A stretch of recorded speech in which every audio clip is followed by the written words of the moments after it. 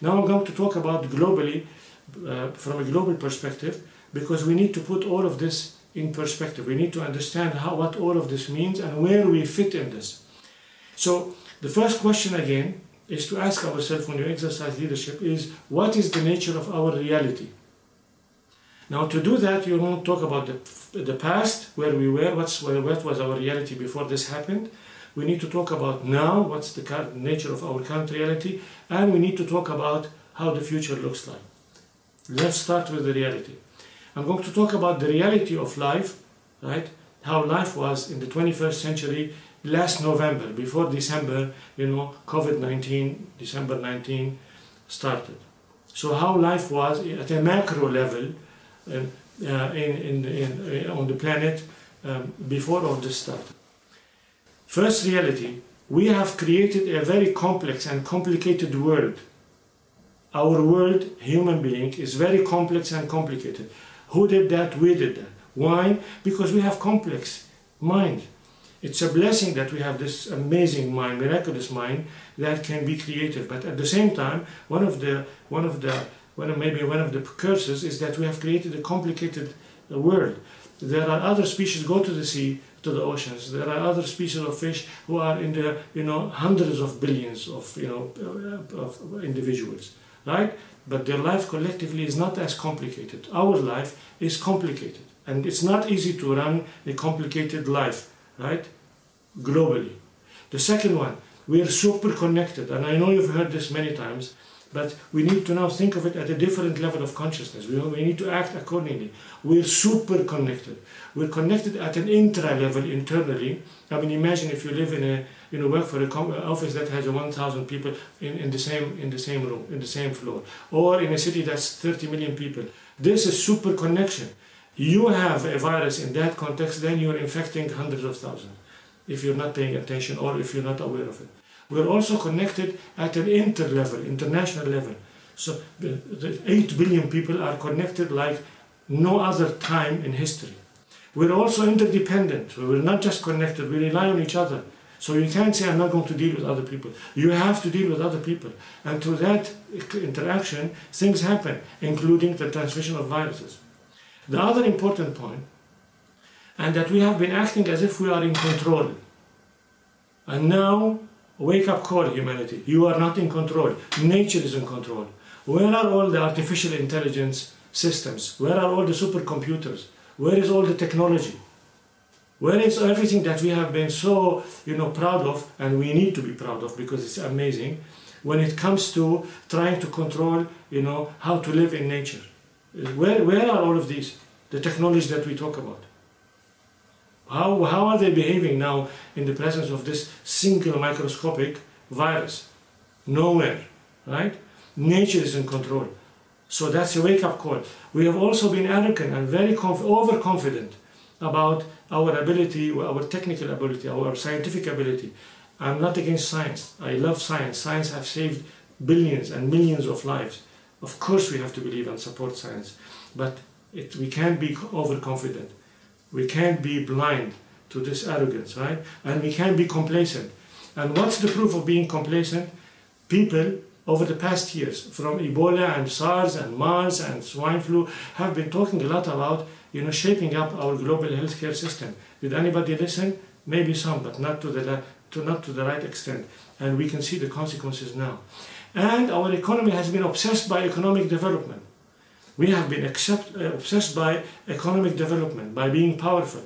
Now, is that a bad thing? It is not a bad thing, because that's how you create progress. That's how you remove people out of poverty. That's how, you know, you help people have a better life. But we have been obsessed about this. You know, rich, prosperous, uh, financial growth, being more powerful at a you know, organizational country level, that's all fine, right? But we've ignored other important things. So now we have to move from taking about talking about this at an intellectual level, right? At an intellectual level to really integrating this into our consciousness. Why? Because we have been talking, this is not new, but obviously it hasn't really paid off because we're acting as if it's there at an intellectual level, but we haven't acted accordingly. And we have seen the implication of all of this at a human, at, at a human race. Now, I'm going to move now to talking about our current reality. How do we look at a, look at our current reality? Hmm? We are living in a state of chaos. We are living in a state of chaos. And level, there is total local and global panic. Governments, entire governments are reactive. Why? Because people are dying. So we're battling death and we're not prepared. We're not prepared technically to go through this. The hospitals are not prepared. Everybody is talking about you know, the risk of the health, health system breaking down. So that means we're not prepared. We could have been prepared. And getting this to be prepared doesn't cost, it costs a fraction of what we're spending on our military budget globally. It costs a fraction of what we're going to lose, the trillions that we're going to lose now because of the economic uh, impact of what's happening.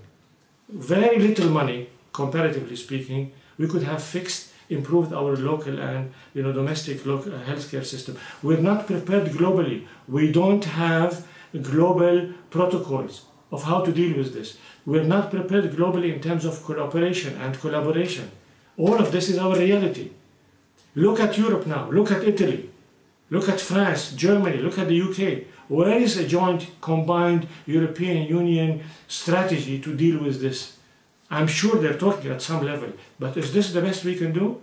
If you heard the news, China has sent some, some, you know, some people to help Italy. Russia is sending some. But this is far from being an orchestrated part of a contingency plan that we should have and we could have done at a global level. Chaos, panic. We're also going into a fragmentation. And this is going, I want to emphasize this a little bit. We're going into fragmentation. Instead of acting together as one group, each country now is on its own. In some countries, each village or each town is on its own. They're putting barricades around the towns and they're not allowing anybody to get into the place. Now, there are benefits for this, but on a global level, it's obvious. We have, we're a state of fragmentation. We're going to further disintegration of the world order. In the past, when we had superpowers, there were people, there were countries that were leading the global community. Now, in the absence of that mindset, you know, where a global leader would emerge, everybody is on their own. And people are doing things, you know, far beyond, far below being optimal because we're becoming more fragment, fragmented and disintegrated. Where is the UN? Where is the UN Security Council? Where is G7? Where is G20? I am not undermining all the effort that's going behind the scene. But what I'm saying, we could do better. WHO is doing a great job but keeping us informed. But show me a case where we are doing, we are demonstrating or we're manifesting a globally coordinated, orchestrated, you know, response to this, just like a beautiful symphony. Far from reality. In fact, in some cases, we're stuck into competition. If each country is trying to do their own vaccine, and maybe there are benefits for that, but maybe it will be more useful also to share all this data. So collectively, all scientists will spread the task on different, you know, on each other and work as one team to, to come up with one vaccine that can go to all humanity because this is a danger at humanity level. Again, I don't want to underestimate all the effort that's going in that direction. But from what we're seeing, and this on the news every day, and you can't avoid that, you can't hide that, we have a challenge when it comes to that thing. Another aspect of our country reality, there is high dependence on authority. This is probably one of the few times in life where I have seen so many countries almost begging the army to take control. So many countries are putting pressure on the government to declare, you know, state of emergency. Basically, what that means is giving their government control at the expense of their freedoms right? So that they can take control of this. They can take you know control of the of the virus itself and contain it. Now, are there benefits of this? Of course, yes. We're in a crisis situation, but there are also dangers for that because what starts temporary could be could become a long-term issue. And from 9-11 we learned that. From other situations we learned that. What's a temporary uh, measure that's taken under emergency situation could become a long-term measure. And when you have when you give government so much power, of course, the default is that they would like to keep it, and then that will have implications on the way societies are run because power can easily be um, abused. The other point that is part of our country reality is that we have in there is a serious crisis in leadership. In my personal view, because I've spent my life, you know, studying leadership and teaching it and writing about it, and I wrote 10 books about this, is that the, we, with the real pressure, the real problem here is that we don't have the kind of leadership that can be up to the current level of challenge globally. Show me somebody, just show me somebody who is leading at the global level with humanity, all humanity in mind. No, I understand there are priorities at home and people have to attend their own constituencies. That's fine. But in these times, also we need somebody with a global perspective to, you know, to bring the whole world together with all our resources you know, to, so that we can deal with this in a more efficient way. And my thinking is that this is the biggest danger that we have now because it reflects our thinking.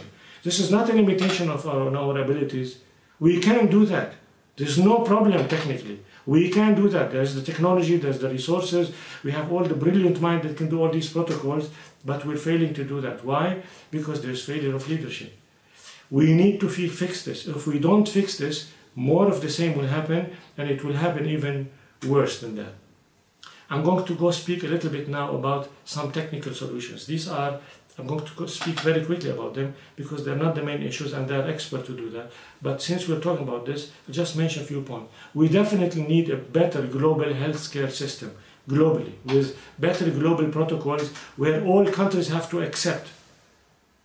All countries have to accept. There's no compromise. It has to be one protocol to how to deal with these kinds of threats at the global level. The second, we need global health standards that can apply everywhere. Just like there are there are uh, there are human um, uh, human rights watch groups that can talk about the level of human rights, you know, uh, uh at and the quality of human rights in in the, in the countries of the world. There has to be a certain similar kind of entity, governmental or not governmental, UN or non-UN, that will make sure that uh, an accepted global standard of of hygiene of health issues health standards is applied locally, everywhere, in every corner of the world, because it's not a local issue. One problem in one market in China, you know, put 8 billion people in danger. We have to have protocol for sharing information in global crisis. We have to have protocols of sharing research uh, uh, to, uh, to cooperate on this. And this has to be handled at, at the UN level, at the UN Security Council level. More important than the technical elements, more important than this, we need to handle this at a deeper level. We need to go to the root causes, which is here, the mindset, right? The mentality and the mindset. The technical part is relatively easy. It's not difficult. It's not it's easy, but relatively it's easy. It could be doable because it's an intellectual thing. But when it comes to mindset, this is where proper leadership has to be involved. We have now a rare opportunity as individuals and as collectively together uh, to take to use this wake up call and think about real solutions. Real solutions. Technical problems will not solve the, the issue because it will, at best scenario, it will bring us back to same old normal. Going back to the same old normal is a crime. It is a crime. It's a crime against the lives of all of these who died and all of this trillions of dollars that will be lost and the jobs that will be lost. We have to create a new normal a new reality, a better standard of reality at a personal level, at a societal level, at a family level, at a humanity level. It's there is a law, there is a moral obligation to create a new normal, not to go back to the different to the previous normal, a better normal.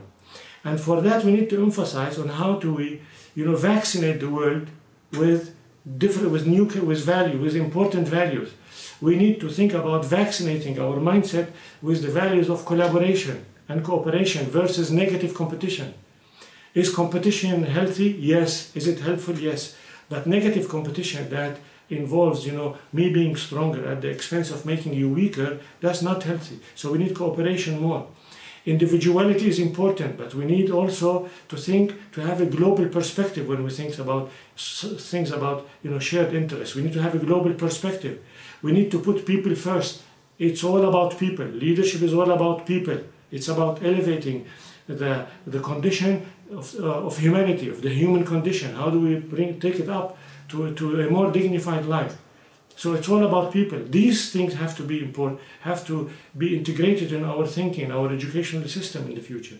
We need to think about sustainability for, you know, for all people through long-term thinking.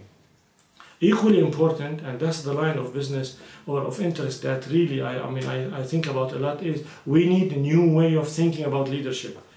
The current way of thinking about leadership has is showing us what what's happening. We need to think about leadership in a totally new way. Now, because because at the end it's all about the individual. At the end, it's all about I mean, what's a society? A society is a summation of all the individuals. You know, corruption starts at the individual and then it becomes a social issue. We also need to create a better person in terms of values. So we need to work on reshaping the values of people when it comes to the priorities of these values.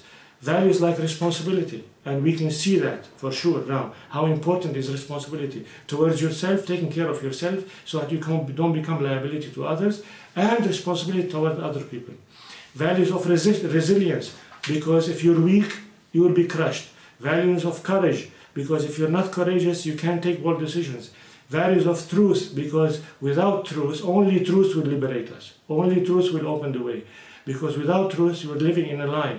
Values of living a meaningful life, a life of meaning that gives, that justifies the, the, the difficulties of, of life itself. Because only meaning uh, that extends beyond you will justify dealing with all the suffering and the pain and the kind of crisis that we're going through now, losing other people. The values of injecting hope all the time because we cannot afford not to be hopeful.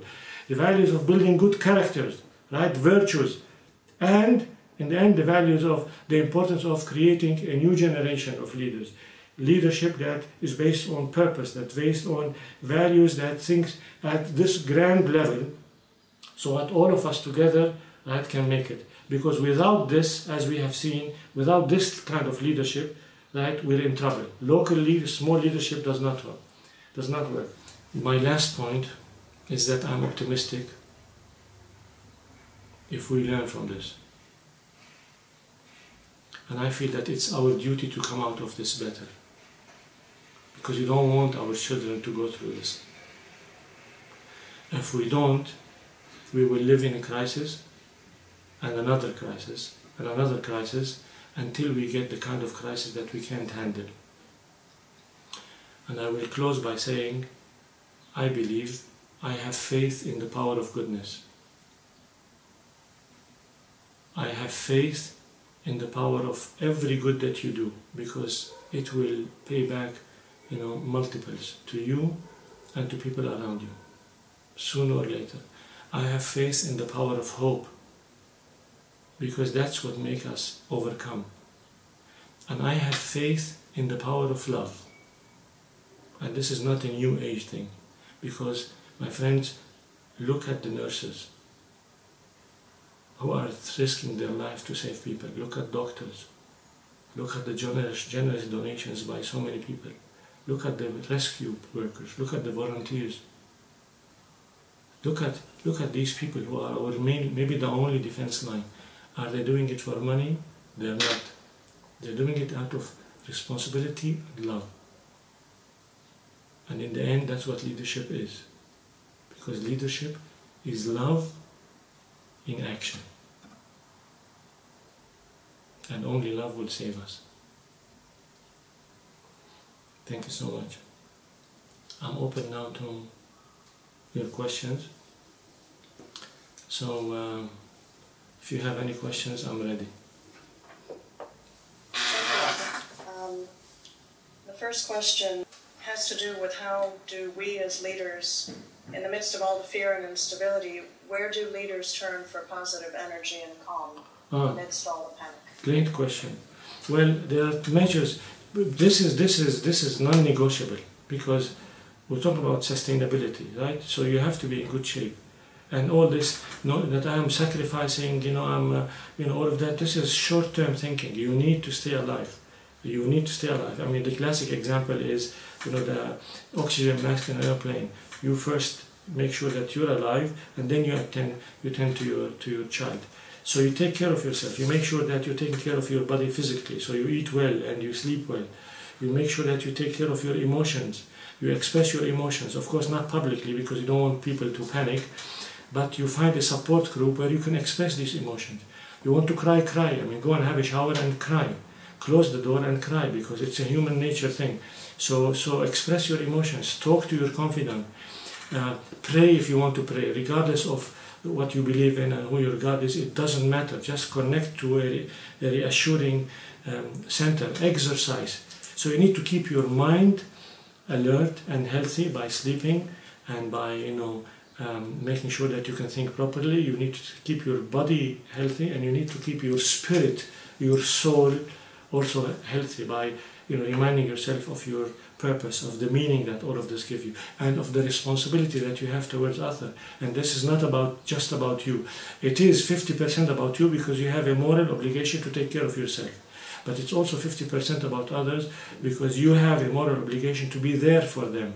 Because if you collapse, your family collapses, and whoever is using you as a pillar in their life will also collapse. So it's an important part, part of what being a great leader is all about. There's no selfishness here. This is, this is part of the process of mobilizing people and exercising leadership.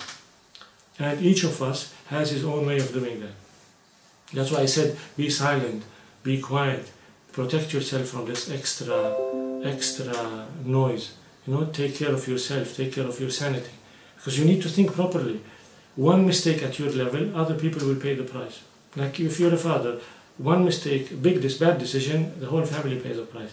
CEO, the entire company, president, the whole government, the whole. I mean, look at the governments now. Some of them made mistakes. They went in, into this late, and the consequences is that more people have died. And those who went in early, took it earlier, see more seriously, you know, at an earlier time, they saved lives. So you really need to be in good shape so that you can make your assessment um, in a, in, a, in, a, in a sound way because it's not about you, it's about other people.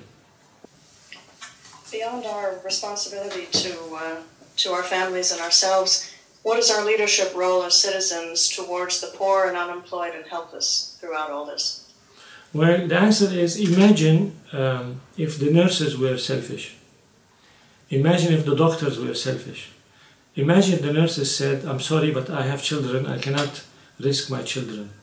I do a job and then I have to go and stay with my kids. Imagine if doctors and rescue people did this. The Red Cross people did this. Imagine supermarkets, you know, food people did this. Imagine, I mean, okay, people care about money, but I don't think to the extent that they would sacrifice their kids. So we have to, we have to learn from them, and this, they are the source of inspiration. This is an amazing, amazing lesson of exercising leadership with the minimal power that you can have. I mean, these people are not in government, they don't have the power to take big decisions, but they're saving lives. They, without them, we're, all, we're finished without them. So we have to learn from them, and we have to understand that this is the power of meaning. You know, are these people tired? Yes. Are they exhausted? Yes. But the only, are they feeling under danger? Of course, yes. But the only thing that is keeping them in the game, you know, uh, uh, taking on all the threat, accepting all the sacrifice they're making, they're putting in life in danger. The only thing that will making is making them do that with a smile, right? And what's striking is that they, they keep saying it's our duty to do so, is a sense of meaning. And meaning can only come from responsibility. So responsibility, feeling responsible is the key because the more you feel responsible towards yourself, especially others, the more your life will have meaning. And the more your life have meaning, has meaning, the more you will be able to be resilient and the more this, you know, the difficulty of life and sometimes the tragedy of life will be bearable. So the answer is feel responsible, right? And, uh, and, and if people don't do that, then it's a disaster because it's not just about you. Imagine if somebody has corona and he knows that, and he doesn't have a, he or she doesn't have a sense of responsibility and they're just saying you know what the hell? I can go to supermarket and I talk to people. Um, they have I mean they have their own philosophy. They're nihilist or they're upset or they're angry or they're you know malevolent or uh, uh, they're bitter. So uh, serious danger. We cannot live without responsibility and meaning and an elevated sense of purpose that's a danger not only to the person who is doing this, but to the entire community. So our last question, Michael, is, uh, is a loaded one. The audience would like to know what has been the hardest part of this crisis for you? What leadership lesson have you had to exercise the most? And who has impressed you as a leader the most throughout all this? Okay, the hardest lesson uh, has been um, this uh, mega wake up call about how humanity is so fragile. And I'm not saying this at you know at any philosophical way. Part of it is philosophical, but it's home. My family is at risk. I mean, what if I don't make it? This is serious stuff. So, so it's a wake up call on the reality of life itself. That life is not a journey. It's just one challenge after the other. And that uh, uh, it's a manifestation of how strong we have to be for our sake and the sake of other people. Life is not a game. This is not a game. Now, it's not a depressing journey at the same time, but you have to take it seriously. When you're having fun, you have to be very serious and wise about it. And you, when you're not having fun, when you're receiving end of the tragedy or, or the danger, you're also you can't take it uh, you serious. You cannot take it lightly. You have to be serious about it. So, so that what struck me. It, at least in my lifetime, is the first time I I experience emotionally and intellectually, right, and spiritually, something of this magnitude.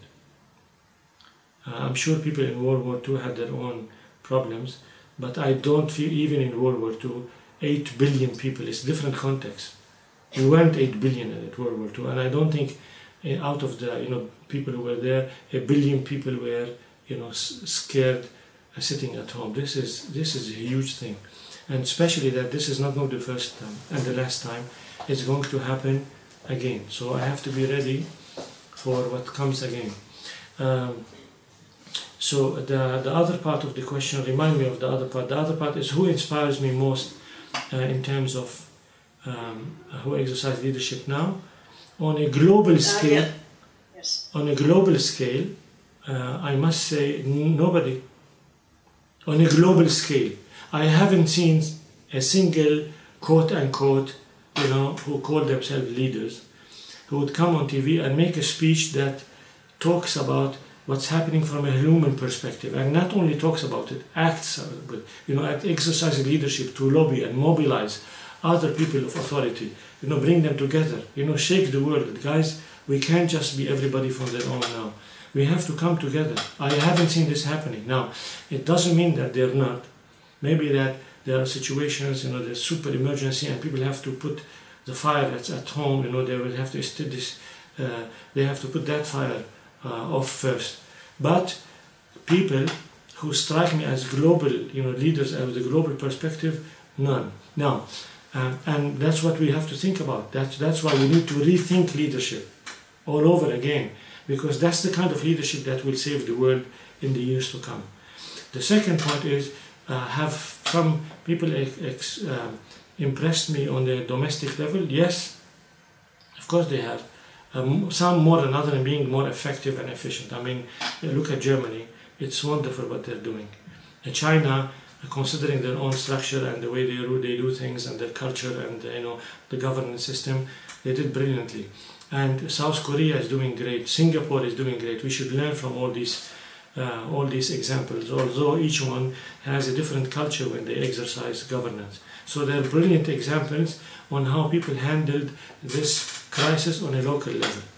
And this should be exercised, this should be studied and investigated and researched, and papers have to be written about this because we need to learn. This is this is an amazing. We should spend ten years eh, trying to learn through empirical research. You know how do we integrate what we learn? How do we conclude, make conclusions, and integrate them into our our our bulk of knowledge and our consciousness. But as I said, globally, as where is G7, G20, where is the UN Security Council that used to meet for you know for many other easier reasons? Where is the UN? Where is the UN in Geneva? Where is the UN in New York?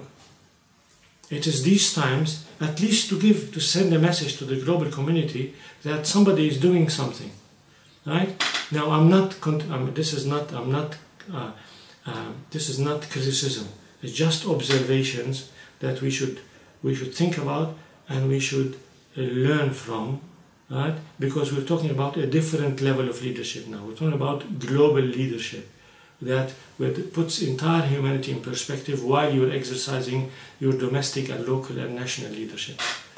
And, uh, and maybe in the next few months or so, when people are awake from you know processing this and uh, over the panic stage, maybe such people will will will will come on stage, and maybe when this is even quiet, you know, it's over. Maybe some people will come and say, guys, let's come together as a global community, UN or other bodies, and and scientific community, universities, you know, think tank, come together and see what we can learn out of this and turn this into policies at a local level, a national level, and at a, at a global level.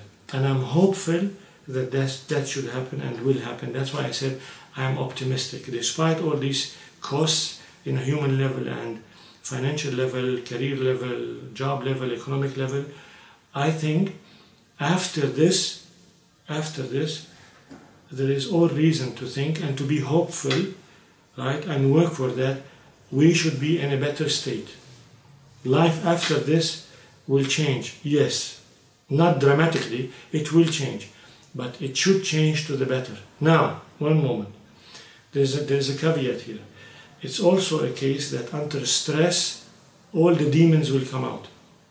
Take the family. If the family hasn't under stress, all the demons of all past issues in all previously unsolved relationships and pending issues will come to the surface. So this is also is expected to happen because the society is under so much so much stress, right? So this will happen. So we have to know how to we will need to learn how to handle this, make sure that these demons do not, you know, overwhelm us and keep things positive, right? And learn from this and make it into, into create a better reality and that's the challenge of leadership.